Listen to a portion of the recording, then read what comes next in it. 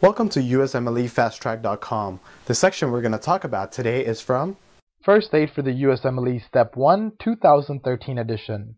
Page 415. Cerebellum. What are the responsibilities of cerebellum? The responsibilities of cerebellum includes to modulate movement and aids in coordination and balance. Where does the input information of the cerebellum come from?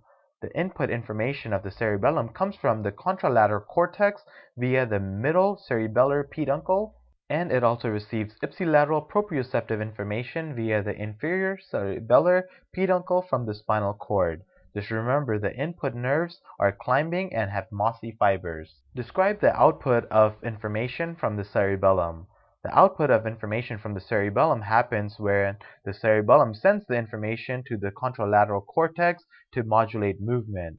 In output nerves, the Purkinje fibers send information to the deep nuclei of the cerebellum, which in turn sends information to the contralateral cortex via the superior cerebellar peduncle.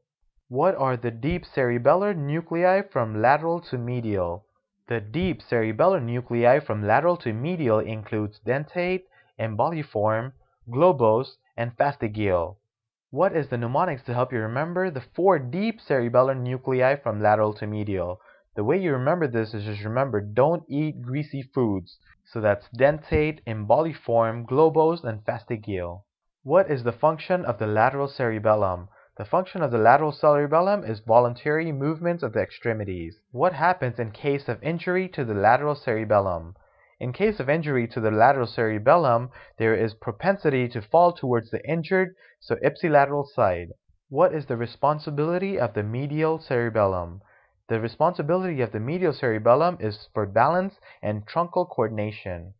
For more information on this topic, click on the link in the description section below. For a full USMLE Step 1 review, be sure to check us out at usmlefasttrack.com where we help you review the entire first aid for the USMLE Step 1 with high quality videos and hundreds of detailed pictures for a better understanding of the material. So to learn from the best USMLE review book, be sure to check us out at usmlefasttrack.com.